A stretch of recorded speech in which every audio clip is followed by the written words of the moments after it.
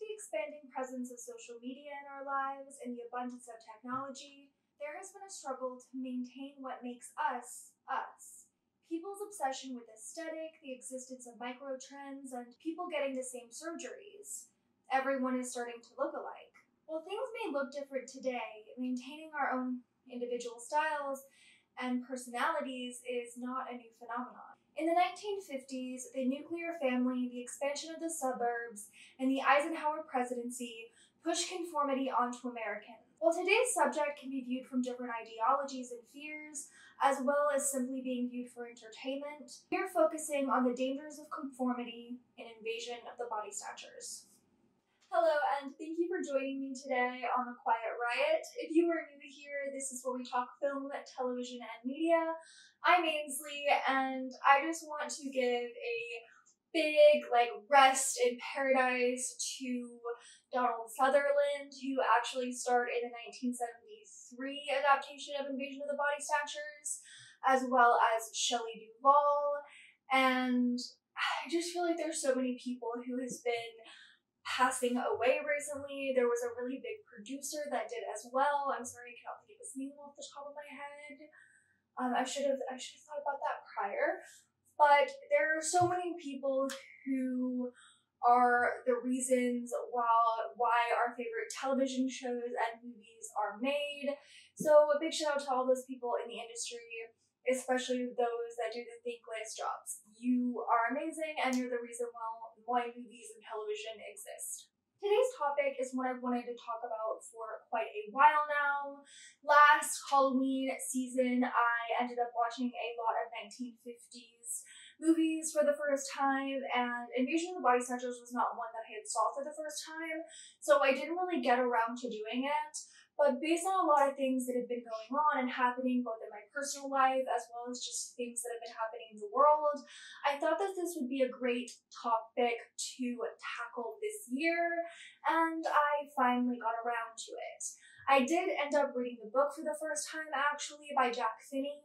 And I didn't enjoy it as much as I enjoyed the movie, though I do think there are certain aspects of the book that uh, are quite entertaining and it is a pretty good read. I do recommend it if you just want something that's kind of, you know, it's it's pulp fiction really and it's a quite easy and quick read. I listened to the audiobook version and I really did like the audiobook. I will actually put the version that I listened to in the description box below if you're interested. And that's where you will also find anything that I read in preparation for this video. So without further ado, let's get started and discuss Invasion of the Body Snatchers. Originally published in serial as The Body Snatchers, Jack Finney's novel is a pulp science fiction novel written to entertain readers. Shortly after its release in 1955, a film was made adapting the, the source material rather faithfully. There were changes, mostly at the behest of producers. Daniel Mainwaring adapted the novel, with Don Siegel coming in to direct. Invasion of the Body Snatchers has been viewed as many things in the years since its release. Mainwaring, whose Proletariat story was published under his own name and whose novel Build Your Gallows High was adapted into Out of the Past, went much deeper with the material. It's no doubt that Invasion of the Body Snatchers means something. Whether you're looking at it through the lens of 1950s America or from a modern worldview, Invasion of the Body Snatchers reflects the ordinary with something rather extraordinary. Since the original novel's publication, there has been at least four movies adapted from the original source material, and then several other films that have taken the original source material as inspiration. Each film tends to reflect the time that they are made in. In the 1950s, Body Snatchers takes place in a small town, with the 70s adaptation moving to the city. The 90s film, The Body Snatchers, was based on a military base, and The Invasion, released in the 2000s, follows two people who find a virus on an aircraft and are the only pair aware of it. It's easy to view the film as pure entertainment, and if that's why you watch films and you prefer just to do it as simply an escape, this is definitely a movie for you. But if you also like to look into your films and you find a different kind of connection with them and you like to look a little deeper, Invasion of the Body Snatchers also allows you to do that. Invasion of the Body Snatchers was made during the McCarthy era, leading many to believe that it was an allegory for McCarthyism as the danger as well as the dangers to turning a blind eye to it. Even if the film was originally made as entertainment only, that doesn't mean it hasn't grown to mean something. The source material and its first film follow a small town doctor who investigates the strange occurrences in his hometown. He soon finds out that aliens have invaded and are replacing the humans with replicas. A simple yet strong premise that manages to have a theme whether it was meant to have one or not. At the time of the film's release, the director stated the film was simple entertainment. Don Siegel commented, however, in 1980, the political reference to Senator McCarthy and totalitarianism was inescapable. But I try not to emphasize it because I feel that motion pictures are primarily to entertain and did not want to preach. While I do understand the fact that Motion pictures is also a really big part of entertainment. Film is an art form, and so it can often reflect fears, anxieties of the time, as well as just various things that are happening in the world. And you could have a film that maybe maybe takes place in the past, it's a period piece, and while that film is dealing with subject matter from a different time, it is also reflecting realities of our current time. And art is subjective, including in film form. So I really like to watch certain films, particularly sci fi and horror, and find something uh, a little deeper inside of it. And that's what I've done with Invasion of the Body Snatchers. I will be looking at the 1970s version at some point as well, and we will talk about those, compare them a little bit, as well as comparing them to the original source material. The film could easily be perceived as an allegory for communism, but it it works more as an allegory for capitalism, colonialism, and their effects. The pod people go from planet to planet, incorporating the various life forms into themselves. Conformity, another symptom of imperialism, is seen from the beginning as Dr. Miles Bennell begins to notice the changes to the townspeople around him. People are beginning to lack what make them them. They no longer have personalities that differentiate them from each other. In the film, Wilma Lentz, played by Virginia Christine, mentions she knows that her uncle is not her uncle because of his eyes. His features are all the same, but his eyes are different. There is no feeling. When somebody talks about something they like, love, they enjoy, their face tends to light up, their eyes tend to express something, some kind of emotion. And I always think that the eyes are the windows to the soul, that saying. And whether or not you believe in a soul or not, I think it's pretty for most people, a lot of what they're feeling comes across in their face, and even if it doesn't, it's really hard to hide those feelings from your eyes. And the thought of somebody not having any type of expression there is creepy. What the pod people are doing isn't easy to cover up because they're getting rid of these attributes that make us human. They don't want to blend in either. They want to replace us. One of the things that makes the film great is that it can be reminiscent of various ideologies depending on how you view it. From the mind of Daniel Mainwaring, whose short story he adapted into The Lawless, I don't expect that his work isn't going to criticize the realities of the time. By this point, he had already been doing that in his work. Unfortunately, Many of the realities that Daniel Mainwaring discussed in both the books and films that he wrote didn't stop existing in the 1950s. It's no wonder the film has inspired multiple adaptations since its release in 1956. The film starts as Dr. Miles Bennell is screaming in a hospital outside of his town, and a doctor comes up to him and allows him to tell his story. This scene was added after they had already done the rest of the film. They wanted to do a bookend scene, and this was more so at the behest of the producers. This wasn't a want for either Siegel or Mainwaring, And I will talk more about this once we get to the end of this video, but I just don't think it was a good idea to put this in there. I didn't hate it, but it just, it, I think it did a bit of a disservice to the film overall. We are then told what happened, and the film is told in flashback by Miles Bennell as Dr. Bennell returns to his hometown of Santa Mira, California, after his nurse called him back following many patients' need to see him. On his way back to the office with the nurse, he runs into a boy who is acting scared and erratic, and the boy ends up running off, and the grandmother tells him that he is just that he just didn't want to go to school that day. And Bennell lets this go, but he still feels that something is a little off.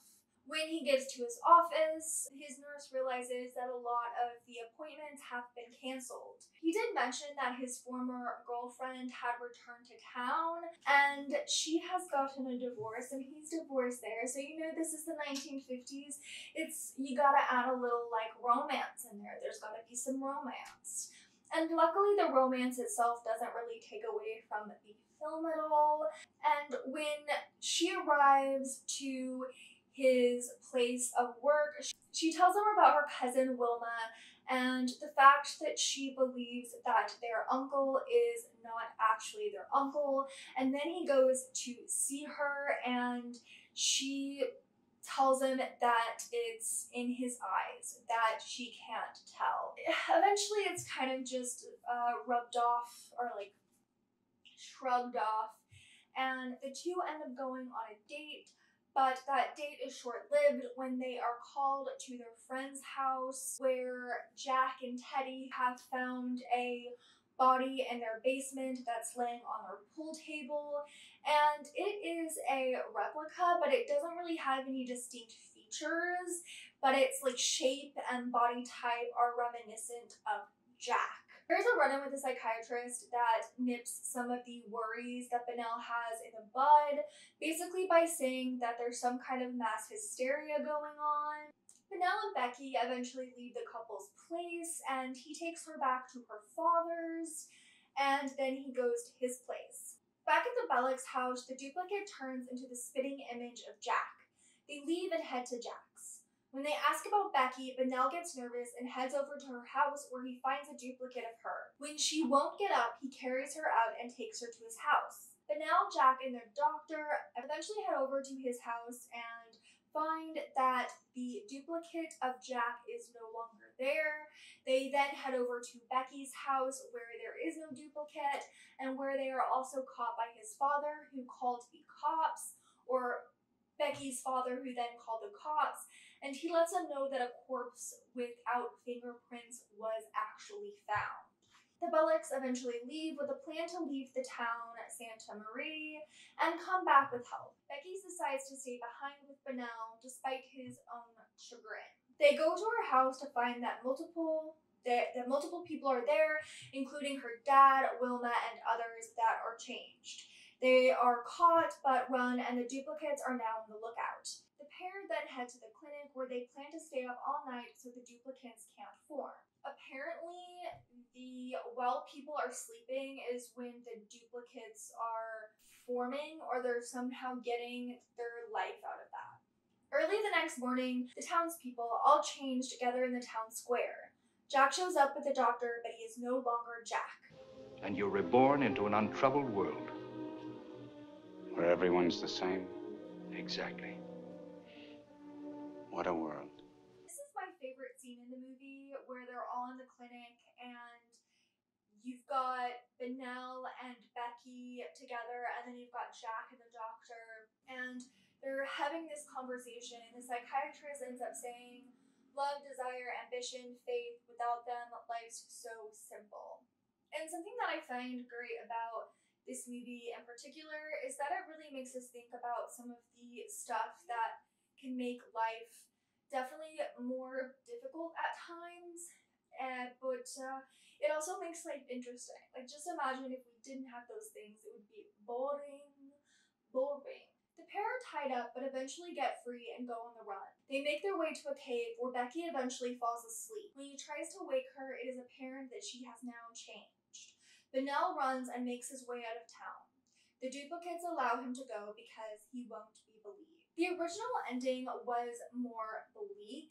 There was just plans to have him running, saying they're here, they're here. But unfortunately, thanks to the producer Wanger, who wished for a happier ending, Siegel and Mainwaring didn't want this, but they ended up cave adding the book end scenes. And the ending does work, but um, I do personally think that the bleaker alternative would have worked better with this film because while there is still, while it is still pretty bleak, there is not this like solid idea of what's happening. We don't know uh, what's happening elsewhere in the world, what could possibly change and make things better. And I know in the source material there is more of a happy ending, um, happier than what this film gets, and then but I just think having that sense of, of searching for hope as opposed to uh, having a more solid hope, I guess. I don't know if that's the best uh, term to use, but uh, yeah, having a,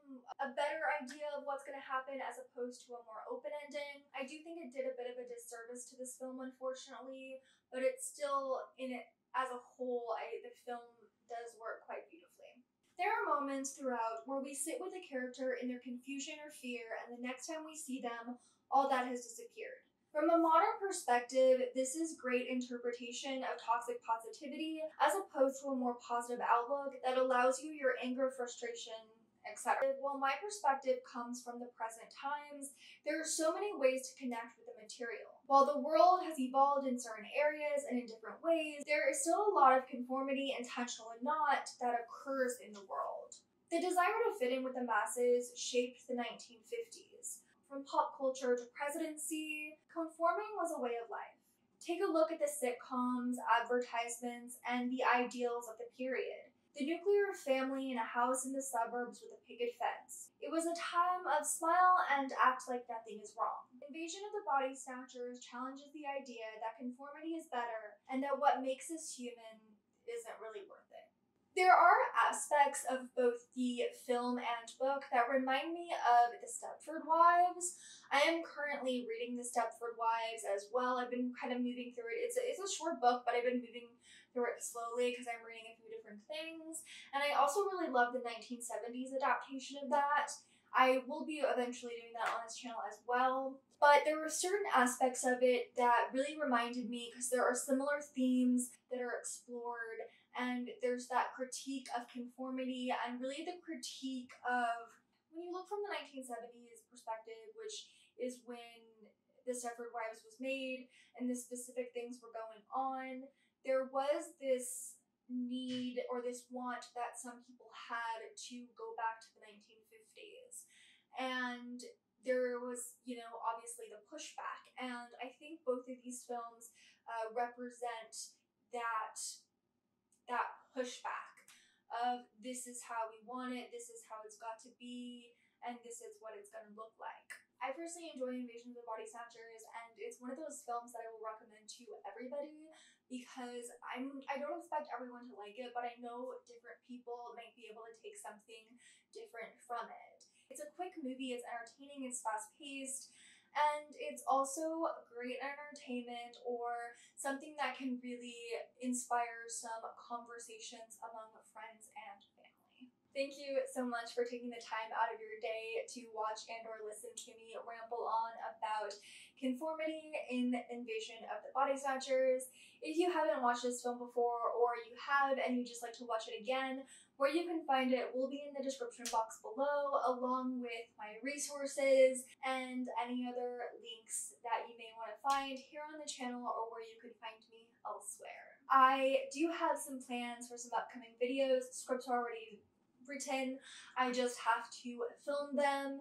I will be doing some that have been requested of me. I'm really excited to do those. I am, like I said, I'm reading a few different things right now. One of which is the Stepford Wives for a future video, and one is actually The Lord of the Flies for a future video, and then like watching the movies as well. But if there's anything that you would ever like to see on this channel, please let me know in the comments below. If you haven't already, subscribe and ring the bell to be notified every single time I post. If you like this video, don't forget to give it a thumbs up, and I'll see you next time.